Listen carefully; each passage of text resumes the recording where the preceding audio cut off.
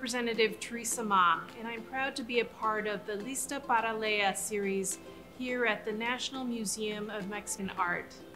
Today, I'll be re reading Round is a Tortilla, a book of shapes. Round are sombreros. Round is the moon. Round are the trumpets that blare out a tune. Round are campanas that chime and ring. Round are the nests where swallows sing. Round are tortillas and tacos too. Round is a pot of abuela's stew. I can name more round things. Can you?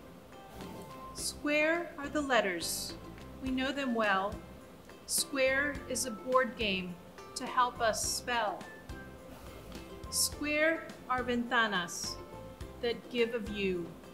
Square is my clock and my photos too.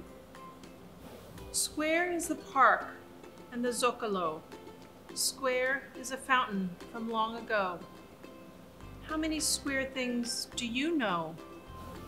Rectangles are carts with bells that chime and cold paletas in summertime.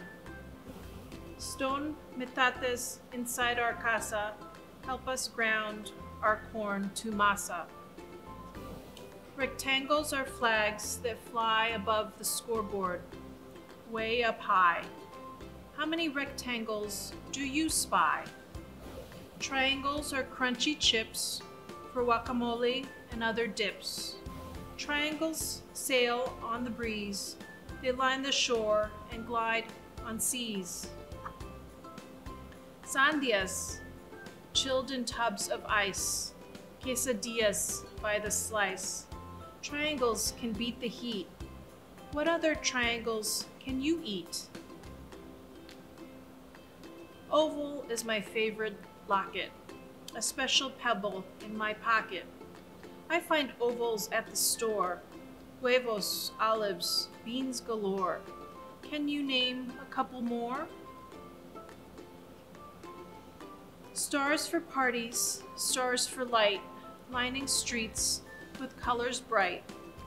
There are so many shapes wherever you go. How many more shapes do you know? Thank you for joining us. Stay tuned for our next reader.